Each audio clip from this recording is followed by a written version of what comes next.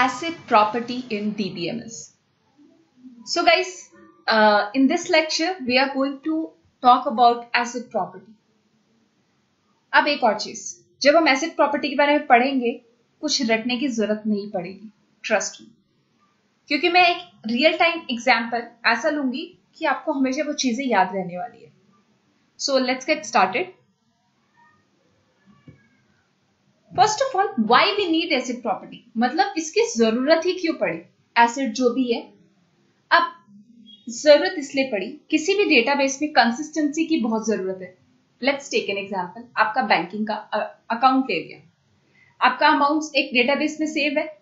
आपने पाँच हज़ार है, दो हज़ार ट्रांजेक्शन किया, तीन हज़ार बचा। ऐसा तो नहीं कि तीन हज़ार, दो हज़ार भेज दिया और चार हज़ार बचा।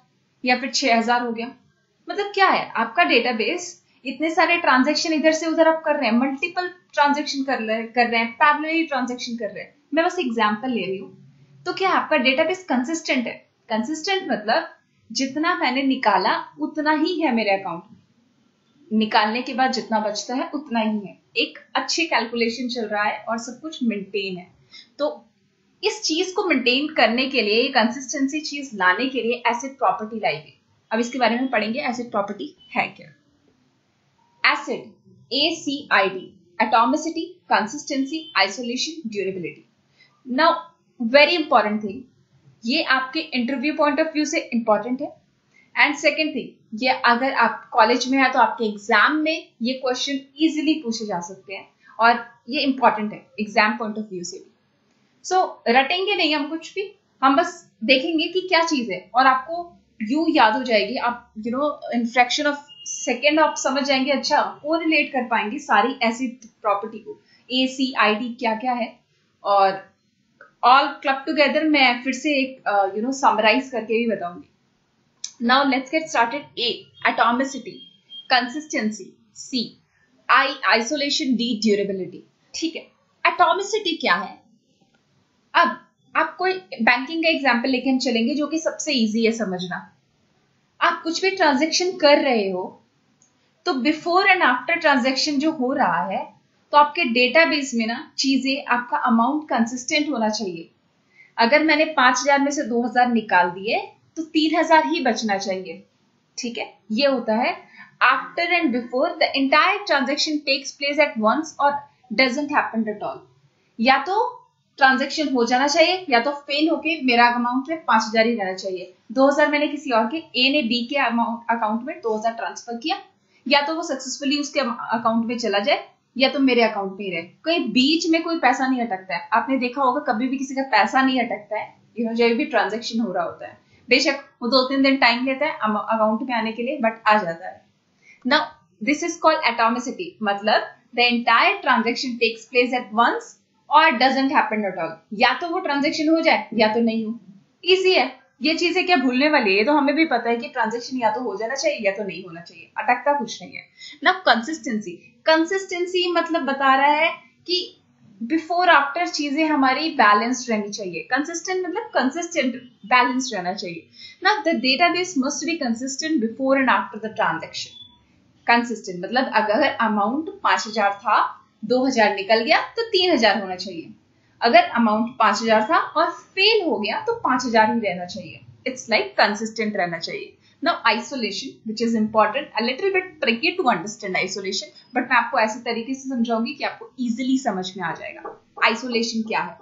Multiple transaction occur independently without interference अब मल्टीपल ट्रांजेक्शन क्या है भाई? ए एक पर्सन है। ठीक है, राम, एक पर्सन है। उसके पास 400 डॉलर है 400 डॉलर है।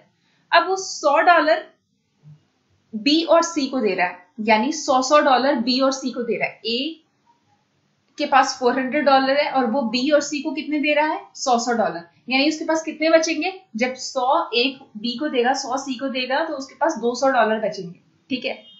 तो यही कह रहा है कि अगर मैं कोई ट्रांजेक्शन कर रहा हूँ, अगर दोनों पैरेलली एक साथ हो रहे हैं तो बी के लिए मेरे अकाउंट में कितना है बैलेंस 400 डॉलर तो वो 100 डॉलर ले लेगा। 100 डॉलर उसमें ट्रांसफ़र कर दिया। तो अब मेरे पास कितना डॉलर बता तीन। बचा 300 डॉलर बचा।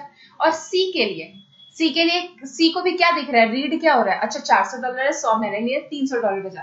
तो क्या तीन सौ डॉलर थोड़ा ना बचा। दो सौ डॉलर बचना चाहिए ना? तो यही है कि जो मल्टीपल ट्रांजेक्शन है ना, वो इंडिपेंडेंटली होना चाहिए विदाउट इंटरफेरेंस दो एक दूसरे में इंटरफेयर नहीं करना चाहिए। मतलब एक अगर ट्रांजेक्शन सक्सेसफुल हो गया after committing of that transaction मतलब जब मेरा सौ मैंने बी को दे दिया, जब मेरा कमिट हो गया ट्रांजेक्शन मेरे अकाउंट में अब 300 सेव हो गया है डेटाबेस में और वो रिफ्लेक्ट हो रहा है, उसके बाद ही मुझे दूसरा ट्रांजेक्शन करना है फॉर सी बी को देने के बाद ही सी को करना है। अगर दोनों पैरेलली कर रहे हैं, और तो दोनों अलग अलग तरीके से डेटाबेस में चीज़ें उन दोनों को अलग अलग तरीके से दिखेगी। तो इसी चीज़ को हटाने के लिए आइसोलेशन लाया गया। Means multiple transaction occur independently without interference तो दोनों में कंफ्यूजन नहीं होगा।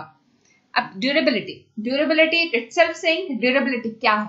The change of successful transaction occur even if the system failure occurs मतलब आपका अगर सक्सेसफुल ट्रांजेक्शन हो गया, पाँच हज़ार में से दो हज़ार मैंने किसी को दे दिया तो तीन हज़ार ही रहेंगे मेरा अचानक से कुछ ऐसा नहीं हो जाएगा कि दो हज़ार वापस आ गया। रिवर्ट या अनडू नहीं हो जाएगा। चाहे सिस्टम फेलियर क्यों ना हो जाए। अगर कुछ ट्रांजेक्शन रुक गया, मेरा नहीं पहुँच पाया तो पाँच ही हज़ार रिफ्लेक्ट होगा। ऐसा नहीं कि दो हज़ार कट के कहीं और चला गया। इसको कहते हैं durability the changes of successful transaction occur even if the system fails occur चाहे सिस्टम फेल हो जाए चेंजेस रिफ्लेक्ट होंगे सक्सेसफुल ट्रांजेक्शन के। या तो वो होगा, या तो वो नहीं होगा। So let's talk about one by one each atomicity now each transaction is considered as one unit and either run to com uh, completion or is not executed at all it involves the following operation अब क्या atomicity जिसे मैंने पहले बताया या तो transaction completely हो जाएगा या तो बिल्कुल नहीं होगा तो इसके दो कमांड आते हैं अबॉर्ट और कमिट ट्रांजेक्शन uh, इसका मैंने एक डिफरेंट लेक्चर लिया है। I provide you the link in the description box और ऊपर कहीं रिफ्लेक्ट हो रहा होगा लिंक तो क्या है? अबॉर्ट और कमिट क्या है? अबॉर्ट मतलब नहीं होना। कोई चीज़ मैं कर रही थी ट्रांजेक्शन कर रही थी बीच में अबॉर्ट हो गया। बीच में वाईफाई कनेक्शन छूट गया बीच में कुछ भी सिस्टम फेलियर होगा कुछ भी हो गया। तो क्या हो गया? ट्रांजेक्शन अबॉर्ट हो गया। मतलब अनसक्सेसफुल हो गया। और कमिट मतलब क्या? मैंने चेंजेस कर दिया। अब उसके बाद चीज़ें चीज़ों को कमिट किया। कमिट मतलब सेव इट्स कॉल्ड सेव तो मैंने पाँच हज़ार में से दो हज़ार निकाल दिया और मैंने कमिट कर दिया कि भैया अब मेरे पास कितने बच गए हैं? तीन हज़ार। तो उसको बोलते हैं कमिट तो इसमें दो ही कमांड आते हैं एटोमिसिटी में अबॉर्ट और कमिट तो पढ़ लें एक बार अबॉर्ट के बारे में। If a transaction abort changes made to database are not visible मतलब अगर डेटाबेस में मैंने कोई भी चेंज किया, अगर ट्रांजेक्शन अबॉर्ट हो गया, बीच में कुछ भी फेलियर हो गया तो मैंने अगर, मैं पाँच पाँच हज़ार में से दो हज़ार निकाल रही थी बट वो दिखना नहीं चाहिए कि मैंने दो हज़ार निकाला। कितना दिखना चाहिए मेरे अकाउंट में? अगर अबॉर्ट हो गया तो पाँच हज़ार के पाँच हज़ार ही दिखने चाहिए। लेकिन अगर मेरा ट्रांजेक्शन कमिट हो गया है तो मेरे डेटाबेस में वैल्यू जो है पाँच हज़ार की वो चेंज हो मॉडिफाई होनी चाहिए वो अपडेटेड होना चाहिए। पहले पाँच हज़ार था अगर मैंने दो हज़ार निकाल के कमिट कर दिया तो वो तीन हज़ार ही दिखना चाहिए। सो so, इसी का मैंने एक छोटा सा डेमोन्स्ट्रेशन नीचे किया है। तो चलिए जानते हैं अब इस एग्ज़ाम्पल में है क्या। सो so, पहले x एक पर्सन है y एक एक पर्सन है ठीक है? तो बिफोर x के अकाउंट में पाँच सौ रुपए थे और y के अकाउंट में दो सौ रुपए थे। लेकिन कुछ ट्रांजेक्शन हुआ दोनों के बीच। कुछ पैसों का हेरा फेरी हुआ।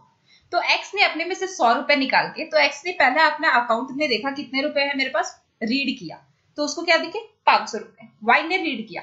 वाई के पास वाई का भी रीड हुआ ट्रांजेक्शन वाई टू टी में तो कितना है? दो अब यहाँ से ट्रांजेक्शन हो रहा है तो वहाँ पे भी तो ट्रांजेक्शन हो रहा है। एक तरफ़ से निकल रहा है तो एक तरफ़ से जा भी तो रहा है। तो दो ट्रांजेक्शन पैरेलली चल रहे हैं। अब x में क्या हुआ? सौ माइनस हुआ। y में क्या हुआ? सौ प्लस हो गया।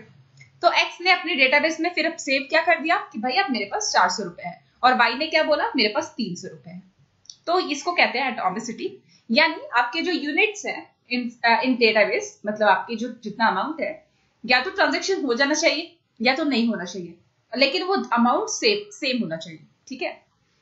तो this is all about atomicity now let's come to consistency consistency भी एटोमिसिटी से जुड़ा हुआ है। हाउ कंसिस्टेंसी मतलब क्या? हम करेक्टनेस देख रहे हैं डेटाबेस का कि कितना एक्यूरेट है, कि एक्यूरेट ट्रांजेक्शन हुआ है। तो इसमें बस सिंपल सा वही बताया है। पहले वाला एग्ज़ाम्पल लेना है। पहले वाला एग्ज़ाम्पल क्या कहता है मुझे? कि पहले मेरे पास x के पास 500 था, y के पास 200 था। यानी टोटल दोनों के पास कितना था? 700 था। अब जब ट्रांजेक्शन टी हो गया तो दोनों के पास कितना बचा?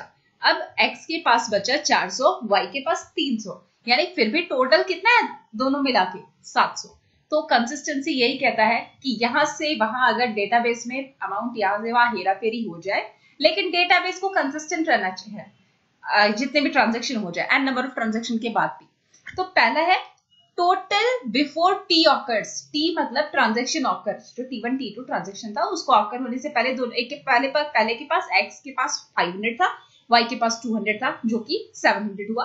अब आफ्टर ट्रांजेक्शन एक के पास 500 था और दूसरे के पास 300 था, जो कि 700 है। Still it is same means correctness maintain है डेटाबेस की। This is called consistency now isolation थोड़ा सा ये देख के अटपटा लगेगा कि इतना कुछ क्या लिखा है बट बड़ा सिंपल है। समझो। पहले मैं एक एग्जांपल लेती हूँ आइसोलेशन पहले रीड कर लेते हैं, ये क्या बोलता है? Isolation changes occurring in a particular transaction will not be visible to any other transaction until that particular change in the transaction is written to the memory और हैज़ बिन कमिटेड मतलब क्या है? मैं, मेरे पास पाँच सौ रुपए है, मैं सौ सौ रुपए बी और सी को दे रही हूँ। जब मैं सौ रुपए बी को दूँगी तो मेरा जो ट्रांजेक्शन कर रही हूँ, उसके बीच में कि भैया मैंने सौ रुपए माइनस किया। सी को नहीं पता लगना चाहिए कि भैया ये सौ रुपए माइनस करने जा रही है। तो जब मैं सौ रुपए बी को माइनस करके मेरे डेटाबेस में कितना सेव हो गया? 400 सेव हो गया। तब सी को दिखना चाहिए कि अच्छा इसके डेटाबेस में अब 400 है, अब मैं रीड करूँगा और मैं सौ रुपए इधर से लूँगा ट्रांजेक्शन करूँगा। अब मेरे पास कितने, अब इसके डेटाबेस में 300 बचे, मेरे डेटाबेस में प्लस सौ हो गए। यही होता है। कि अनटिल ऑनलेस कोई कमिट ना हो ट्रांजेक्शन मेरे दो अगर ट्रांजेक्शन कर रही हूँ बी और सी के साथ, जब तक एक कमिट नहीं होता, दूसरा नहीं देख सकता वो ट्रांजेक्शन को। विजिबल नहीं हो सकता। मीन्स आइसोलेटेड रहेगा वो। दिस इज़ कॉल्ड आइसोलेशन यहाँ पे मैंने एक सिंपल सा डेमोन्स्ट्रेशन किया है। मान लो एक ट्रांजेक्शन चल रहा है टी और टी डबल डबल डैश और T one T two read क्या किया? रीड ने मान लो दोनों के पास 500 500 थे। ठीक है? Read X 500 read X 500 transaction read हो रहा है, ठीक है? अब क्या किया? इसने ना अपने अमाउंट मेरे पास पाँच सौ रुपए है, लेकिन मैंने सौ का मल्टीपल अब मैंने सौ का मल्टीपल कितना हो मतलब मेरे पास अब कितने हो गया? पचास हज़ार हो गया। मैंने इतना गुना पैसा और डाल दिया अपने अकाउंट में। और उसके बाद मैंने सेव कर दिया, ठीक है? मान लो मेरे पास पाँच सौ रुपए थे, लेकिन मुझे सौ गुना कहीं से मिल गया और मैंने उसको सेव कर दिया तो मेरे पास कितना हो गया? पचास हज़ार रुपए हो गया। और अब मेरा अमाउंट राइट राइट मतलब सॉरी राइट मतलब सेव अब मेरे अकाउंट में कितना सेव है? पचास हज़ार. अब मैं रीड कर रही हूँ वाई को कि वाई को अब मुझे वाई ट्रांजेक्शन करना है. तभी अचानक, अभी मैं रीड ही कर रही हूँ, तभी एक ट्रांजेक्शन टी टू शुरू हो जाए. सपोज़ ट्रांजेक्शन टी टू पहले वाई की वैल्यू 500 है. एक्स की भी वैल्यू 500 है. ठीक है? मैं मैं भी बस इंटरमीडिएट है. या तो अगर राइट हो जाता, तब दूसरा ट्रांजेक्शन शुरू होता तो कोई प्रॉब्लम नहीं थी। लेकिन मैंने तो अभी रीड किया है। रीड पे ही सपोज़ एक और ट्रांजेक्शन शुरू हो गया और वो रीड क्या कर रहा है? एक्स की वैल्यू पचास हज़ार है, ठीक है? वाई की वैल्यू इसके लिए कितनी है? इसके लिए है कितनी? 500 अब ये क्या कर रहा है? अभी रीड करके वाई के साथ कुछ मैनिपुलेशन कर रहा है। मेरे दूसरा अकाउंट में कुछ जो वैल्यू पड़ी है, यहाँ से वहाँ हेरा फेरी कर रही तो मैंने क्या किया? माइनस किया वाई को फिफ्टी इसको नहीं पता है अभी। इसके लिए वाई की वैल्यू कितना है? 500 है। क्योंकि ये राइट होने से पहले ही ये चल चुका था। मतलब अभी वैल्यू मेरी सेव नहीं है डेटाबेस में। मेरी वैल्यू जब इंटरमीडिएट जब ट्रांजेक्शन चल रहा था, तभी ये शुरू हो गया और इसने गलत वैल्यू रीड कर दी। क्योंकि नाउ अब इसके लिए z की वैल्यू कितनी z is equal to X plus Y अब इधर देखो, मैंने डेमोस्ट्रेशन में कैसे बताया है। Suppose t has been executed till read y read y जब तक हो रहा है t चला। And then t double dash starts जहाँ पे रीड वाई है, वहाँ से अगर टी डबल डैश शुरू हो जाता है तो क्या होगा? लेट्स सी तब टी डैश के पास क्या होगा? एक्स प्लस वाई की वैल्यू कितना होगा? पचास हज़ार प्लस पाँच सौ कितना होगा?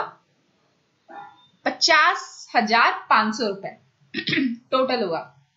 तो इसके अकॉर्डिंग टी डबल डैश के अकॉर्डिंग इसने कितना डेटाबेस में सेव किया? पचास हज़ार पाँच सौ। मीन वाइल जो ट्रांजेक्शन टी चल रहा है उसमें तो अभी कुछ राइट वाइट पड़ा नहीं। ये तो बीच में ही था मिडिल ऑफ़ द ट्रांजेक्शन था। तो इसने तो कुछ सब्ट्रैक्ट किया। अब इसके पास कितनी वैल्यू हुई? पचास हज़ार चार सौ पचास।